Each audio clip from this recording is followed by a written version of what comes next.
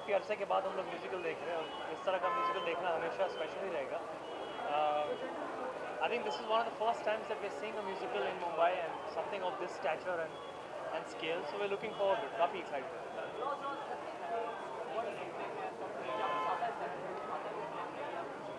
रेखा जी आती है जहन में, हमारे ख्याल में। क्योंकि अगर उमरा जॉन की बात करें तो एक ही एक ही नाम आता है, वो है रेखा जी। और बट लेकिन I think this is a different thing all together